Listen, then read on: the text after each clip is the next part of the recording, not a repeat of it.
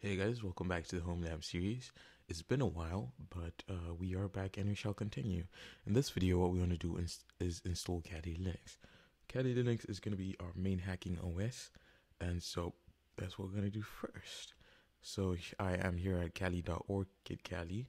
We're going to download the virtual machine, an OVA file for VirtualBox, and if you click here, you will download the file. It's 4 gigabytes. It's a pretty large file. I already have it downloaded, and so I would just jump into VirtualBox straight away.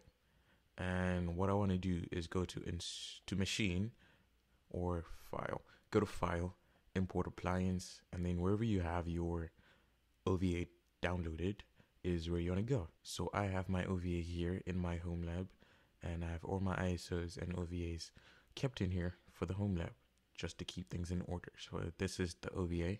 Double click on it, click on next, and then what we want to do is rename this thing to Kali Home Lab. Then give it a bit more RAM so that installation and all that doesn't take too much time. And you can change the base folder, which I will probably do. And once you've changed the base folder, you click on import and it might take a while, so I'll be back when that is done. Okay, so my Kali Linux is done importing. So what we want to do now is start up the virtual machine. Okay, the default password will be Kali, and the default username is Kali as well. Enter that, and you should be able to log in. It's taken a while. I have no idea why. But uh, here we go. We have our Kali Linux installation running, and I do not want it full screen. Okay, we have our Kali Linux running here. And if we open up a terminal and ifconfig, we have one network adapter, which is called ETH0. Our Kali Linux is currently on currently on a NAT, right? NAT network adapter. So that's why there's one. And I had configured my NAT settings. Where are my preferences? Preferences, network, to be on this CIDR range. That is why you see this IP address, right? So when I did a couple of testing and configurations, I then noticed that our interfaces might not work properly together. Um, we have our host one network host one network adapter, then the NAT, which is what we currently have, the NAT, and then we have a host two.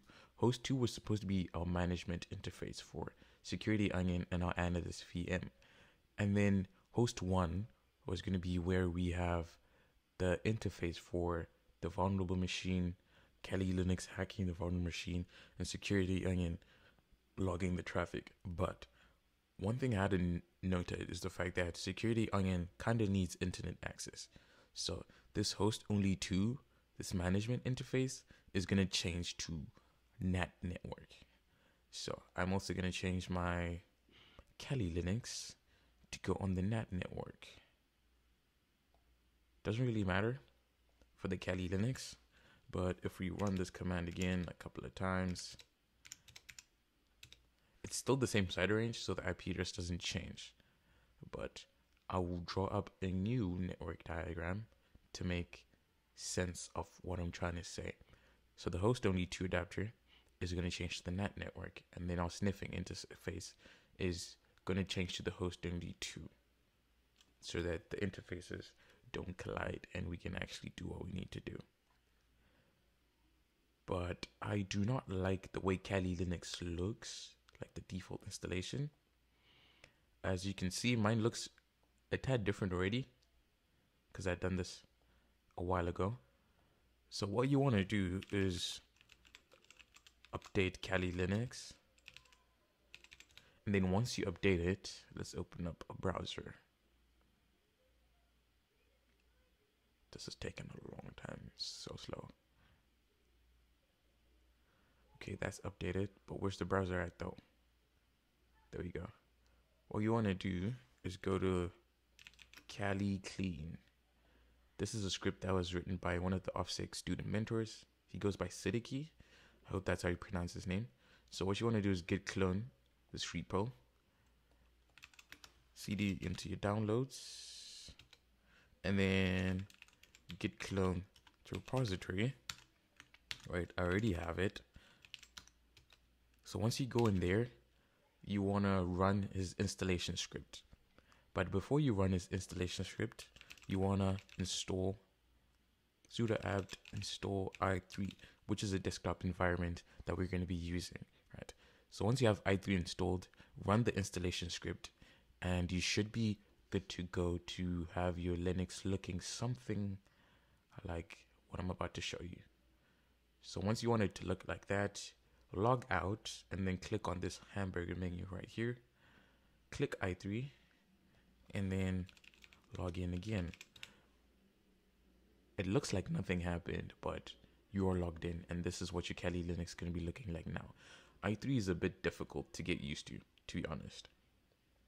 But once you get used to it, it works very well. So to open up a terminal, you hold down your Windows key and press enter.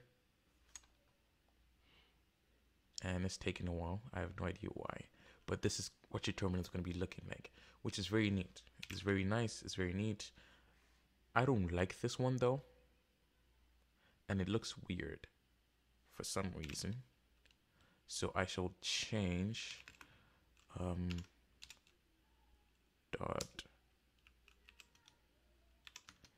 also change the theme from Robbie Russell to Agnoster.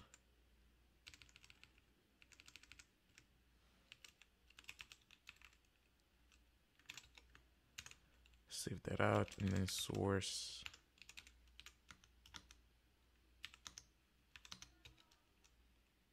And now my theme has changed, but it still looks weird. I might need to run this installation script again. cd into Kali clean. And I will just run this installation script again just so that it looks proper because the font is kind of weird. But since now we have Kali Linux installed, we need to move on to the next step, which would be installing Security Onion. So I'll catch you in the next one.